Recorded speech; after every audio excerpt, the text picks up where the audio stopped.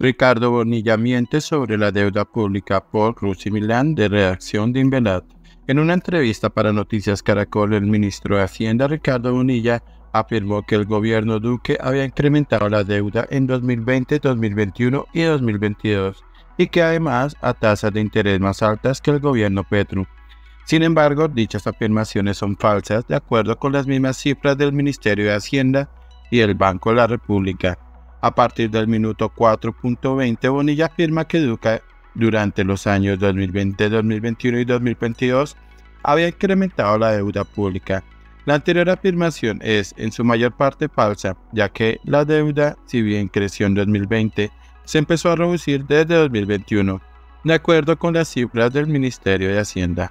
Posteriormente complementa su anterior afirmación diciendo que la supuesta deuda que se incrementó se obtuvo altas tasas de interés, mayores a las tasas actuales, lo cual también resulta falso, de acuerdo con el Banco de la República.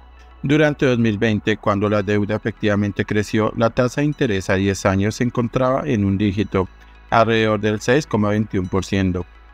Cuando Petro se posesionó en el mes de agosto de 2022, la tasa se encontraba en dos dígitos, alrededor del 12,21% casi el doble interés de 2020 y muy superior a la tasa del 2021.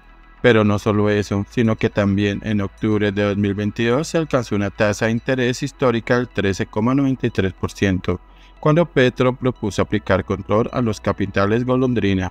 Así pues, las afirmaciones de Ricardo Bonilla sobre la deuda pública del gobierno resultan falsas, con base en las cifras oficiales del Ministerio de Hacienda y el Banco de la República.